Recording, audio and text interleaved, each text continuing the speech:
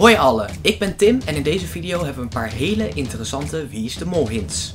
We bespreken onder andere een gekke tijdcode in de aflevering, het einde van de leader die anders is dan voorgaande seizoenen en er is één kandidaat te herkennen in de anonieme vervormde stem. Laten we beginnen bij twee leader hints. In de leader zit er een shot waarbij er een persoon, tenminste dat lijkt zo, tegen de camera met zijn handen staat. Volgens Marcel via Instagram kan het iemand zijn met lange haren of met een doek over het hoofd. En daarnaast heeft deze persoon lange vingers, wat kan leiden tot een vrouwelijk personage of een sterke, lange, artistieke man. Het is natuurlijk een heel verdacht shot en dat zullen we natuurlijk de komende tijd gaan zien of het iets heeft te betekenen. Laten we nu even naar het einde van de leader luisteren.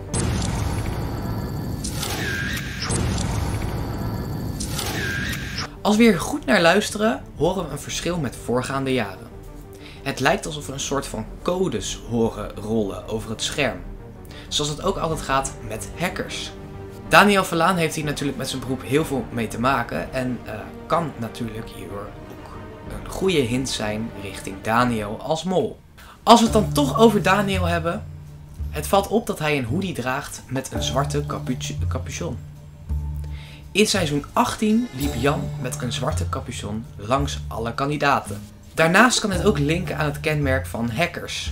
Wie weet, een goede hint. Abonneer snel om op de hoogte te blijven van alle nieuwe Wie is de Mol hints en theorieën video's. In opdracht 1 zaten de kandidaten in kisten.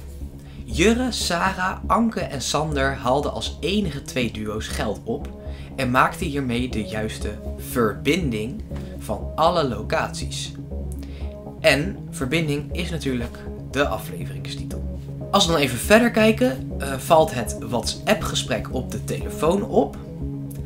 Als we namelijk naar de tijdcode 14.1 kijken en dan naar het bericht wat Rick stuurt, zien we dat Rick Goedemorgen stuurt. Terwijl het bericht natuurlijk dan is verzonden in de middag. En dat is natuurlijk heel erg gek. Um, tenzij er natuurlijk een hint in te vinden is. Uh, als we namelijk in de aflevering op 14 minuten en 1 seconde kijken, zien we een doorlopend shot met Aniek in beeld. Daarnaast is ook nog de 14e letter in het alfabet de N. En de eerste is natuurlijk de A en dat kan Nabil, Aluyat, Ayat maken. Dus daarmee maken we Nabil weer heel erg verdacht. Uh, maar ook Aniek. De hint van Aniek is trouwens ook gevonden door mollejagers op Instagram. Verder is in het bericht te lezen Goedemorgen, ik kijk er naar uit om jullie vandaag te ontmoeten.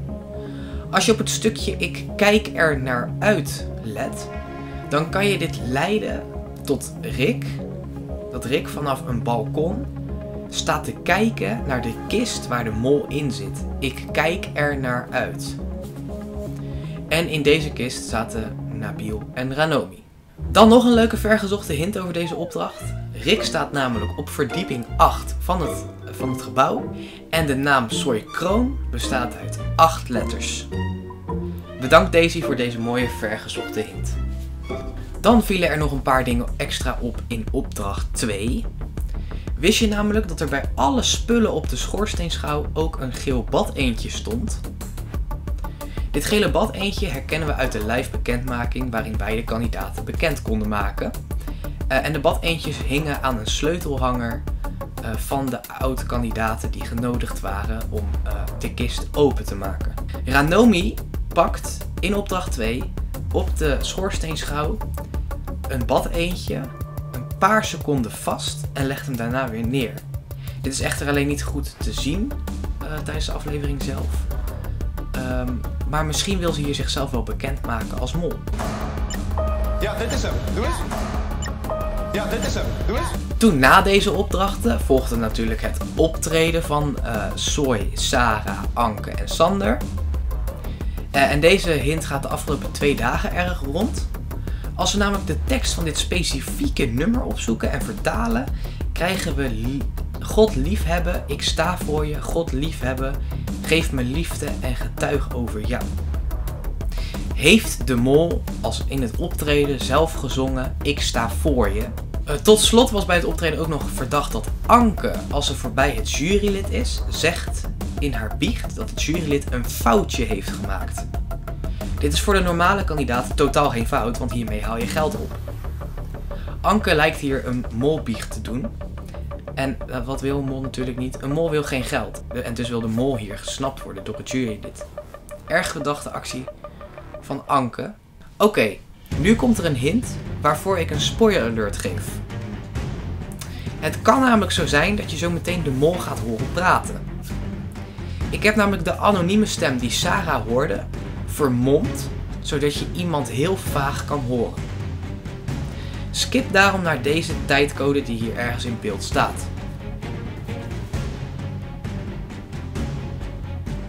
Luister allereerst naar het volgende fragmentje.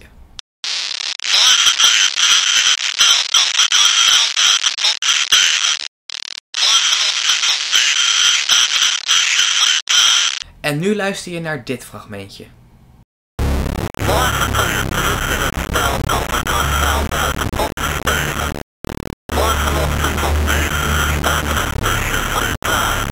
Als je heel goed luistert, eh, kan je de stem van Aniek Boer horen.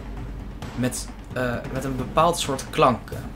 Focus alleen op de tekst van wat een mol zegt. En focus je dan ook vooral op de verschillende klanken, zoals morgenochtend en 9 uur.